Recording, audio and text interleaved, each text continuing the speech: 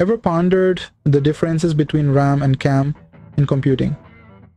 Diving into the world of computer memory, we find these two intriguing players, random access memory or RAM and content addressable memory, often referred to as CAM.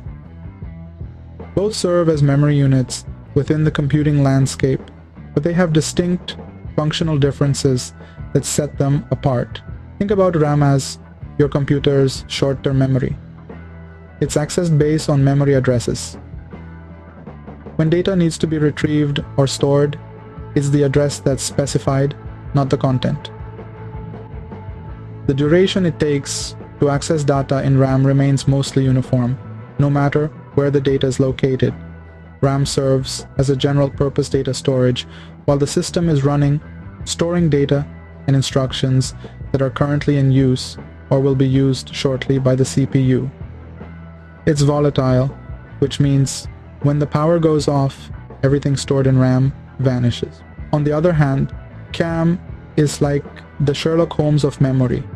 It's accessed based on content rather than memory addresses. You provide the data you're looking for and CAM returns the addresses where that data is stored. Hence, it's also known as associative memory.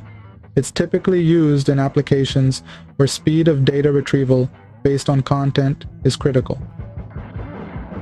Think networking devices for fast routing table lookups, cache memories for quick data access, and specialized databases for rapid search operations. Now let's talk about speed. While RAM is fast, its speed of access relies on several factors, such as the memory controller, the physical distance of the memory cell from the controller, and the current state of the memory bus. CAM, however, offers faster data retrieval for specific tasks. It performs a parallel search through all its contents, making it incredibly efficient for certain operations like pattern matching and searching. Considering cost and complexity, RAM generally is less expensive and simpler in design compared to CAM.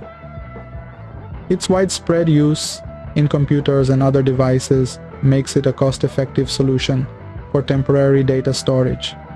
CAM, conversely, is more complex and expensive to implement due to its ability to perform parallel searches and quickly match content. This complexity and cost limit its use to specialized applications where its unique capabilities offer significant advantages. Lastly, in terms of density, RAM typically has a higher density, meaning it can store more data in the same physical space compared to CAM. CAM, due to its complexity and the need for additional circuitry to support content-based searching, usually has a lower density than RAM. To wrap it up, while RAM is designed for general purpose, high-speed data storage, and retrieval based on addresses, CAM is specialized for high-speed search operations based on content.